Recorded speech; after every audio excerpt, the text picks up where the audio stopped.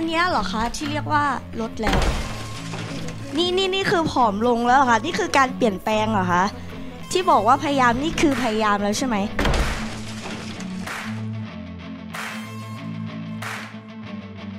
โทษนะคะ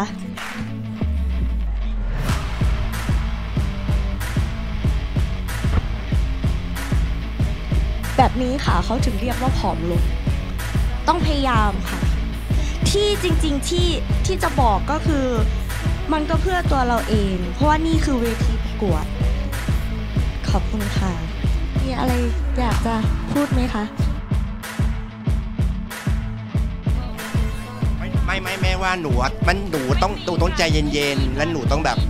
ต้องต้องให้อะไรกำลังใจน้องมากกว่าที่แบบตรงนี้เลยนะลูกนะใจเย็นๆอย่างเงี้ยแต่แม่เข้าใจนะ อะเราเข้าใจว่าเวทีประกวดเนาะแต่ว่าก็อยากให้น้องคือไม่ได้เข้าข้างใครเลย แต่ว่าก็อยากให้น้องเราใจเย็นลงกว่านี้นิดนึงนะคะเนาะ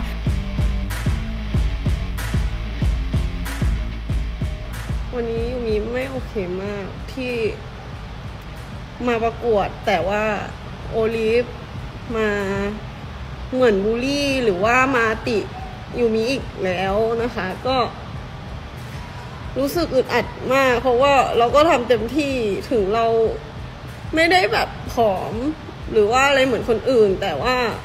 โอลิฟวันนี้คือบูลลี่แบบจริง ๆเลย แล้วก็เปิดหุ่นเตงให้ดู มาเปรียบเทียบกับหุ่นยูมิ คืออันเนี้ยมันเรียกว่าการบูลลี่หรือเปล่า คือจากครั้งก่อนทุกคนมองว่าแบบกระแสก็มองว่าเขาก็แค่พูดตรงๆ หรืออะไรเงี้ย แต่สำหรับยูมิมองว่ามัน คือการเหยียดอะคือเราตั้งใจมาประกวดอะมันคือมันอึดอัดนะ คือเราพยายามแล้ว แต่ว่าโอลิฟมาพูดแบบนี้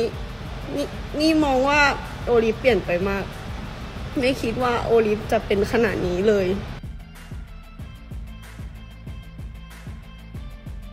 ค่ายขอเรื่องที่เกิดขึ้นโอลิฟแค้นฝังหุ่นอะไรยูมิโกะหรือเปล่า ไม่ค่ะคือจริงๆอะโอลิฟอะไม่ไม่ได้มี